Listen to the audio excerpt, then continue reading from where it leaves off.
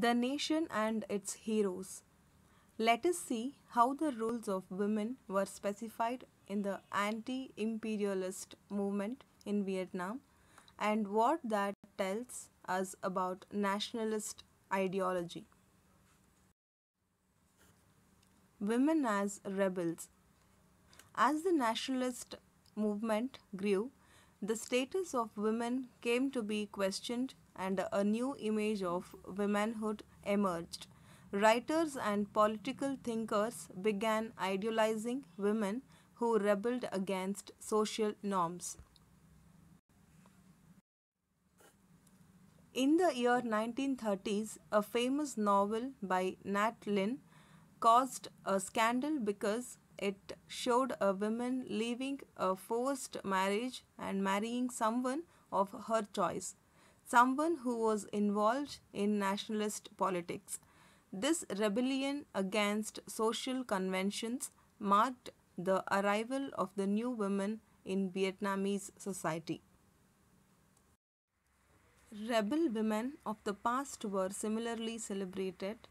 In the year 1913, the nationalist Phan Boi Chau wrote a play based on the lives of the Trung sisters who had fought against Chinese domination in 39 to 43 CE. In this play, he depicted these sisters as patriots fighting to save the Vietnamese nation from the Chinese. After Phan's play, the Trung sisters came to be idealized and glorified. They were depicted in paintings, plays, and novels as representing the indomitable patriotism of the Vietnamese. They gathered a force of over 30,000, resisted the Chinese for two years, and when ultimately defeated, they committed suicide instead of surrendering to the enemy.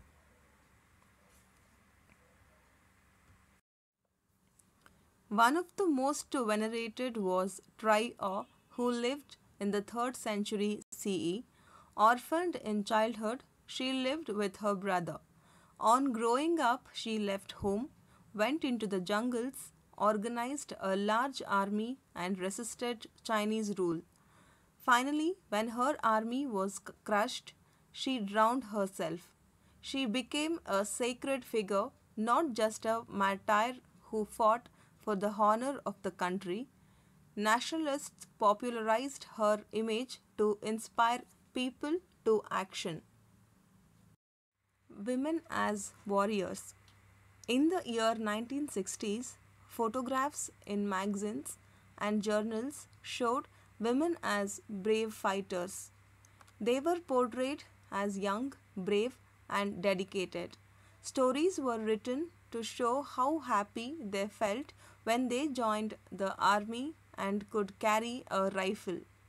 Women were represented not only as warriors but also as workers. They were shown with a rifle in one hand and a hammer in the other. Whether young or old, women began to be depicted as selflessly working and fighting to save the country. As casualties in the war increased in the year 1960s, women were urged to join the struggle in larger numbers. Some stories spoke of their incredible bravery in single handedly killing the enemy. Many women responded and joined the resistance movement. They helped in nursing the wounded, constructing underground rooms and tunnels, and fighting the enemy. Along the Ho Chi Minh Trail, young volunteers kept open 2,195 kilometers of strategic roads and guarded 2,500 key points. They built six airstrips, neutralized tens of thousands of bombs, transported tens of thousands of kilograms of cargo, weapons, and food, and shot down 15 planes. Between the year 1965 and 1975, of the 17,000 youth who worked on the trial, 70 to 80 percent were women.